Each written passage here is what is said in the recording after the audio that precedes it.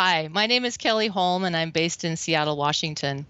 And my coaching specialty is working with executive leaders in fast paced, high growth, high change environments where they're really needing to focus on how do they deliver ever greater value with and through others.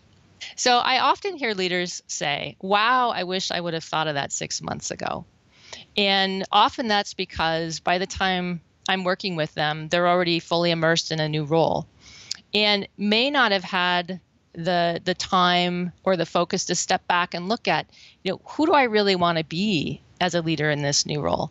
Um, how do i want to show up? Who are my key stakeholders now? And how do i balance their their needs? And what really are the most important things for me to focus on including how do i develop a, my own leadership team to really help me deliver on what we're trying to accomplish in the road ahead so, one of the things that I think is so valuable about coaching um, when we're in a leadership role is there's a saying that, that who you are is how you lead. And sometimes hearing that leaders get a little woo, you know, if they know more of who I am, something bad will happen or they'll think badly of me.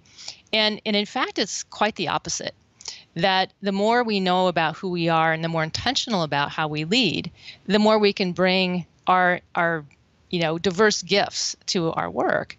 And then also if we're aware of some things that are blind spots that are getting in the way of the impact we're intending to have how, how better than to actually discover those and be able to be very intentional and manage around some of those things so we can have the desired impact.